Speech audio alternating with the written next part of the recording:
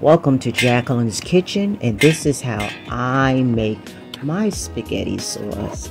I have a kielbasa sausage, some chopped meat, and some Italian sausage, red and green peppers, some fresh garlic, some black olives, some cilantro.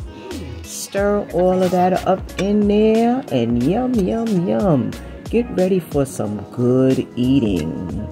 Then I add my spaghetti sauce. Stir that all up in there.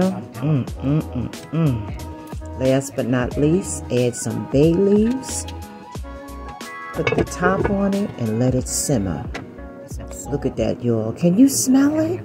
Oh my God. Mm.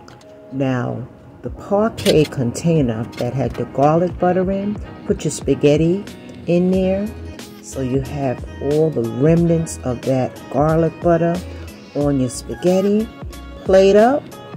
Mmm, gonna be some good eating now, y'all. Mmm, look at there, look at there. Stir it up and start plating. One, two, and one more. Okay, that garlic bread, put that garlic bread on the side of that spaghetti. Mmm, some good eating. Bon appetit!